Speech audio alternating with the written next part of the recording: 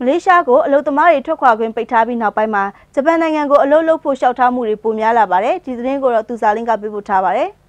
ဂျပန်နိုင်ငံကလူ့ခွင့်ရေးပြေဝရတဲ့တိုင်းပြည်ဖြစ်သလိုလာတာဆိုရင်လည်းပြောတဲ့အတိုင်းပေးတယ်မြန်မာလူသမားတွေကသူတို့အတွက်အဆင်ပြေရာကြောင့်လည်းမလေးရှားကိုလူသမားထုတ်ခွာခွင့်တွေပိတ်ပြီးနောက်ပိုင်းမှာအေဂျင်စီတွေကဂျပန်နိုင်ငံကိုပဲလူသမားပို့တာတွေများလာတာဖြစ်တယ်လို့ညီမပြည်ပလုပ်ကင်ဝန်ဆောင်မှုလုပ်ငန်းရှင်များအဖွဲ့ချုပ်ကပြောပါတယ်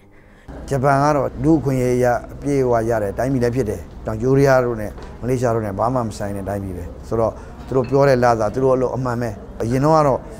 ဒမန်လက်တာနဲတာပေါ့ခုလူခေါ်တာအခုတော့ဟိုဟိုသူတို့ဗမာကိုလည်းကြိုက်တယ်လေ။ဆိုတော့နာမည်များလာတော့ဟိုလွတ်တဲ့လူတွေလည်းများလာတော့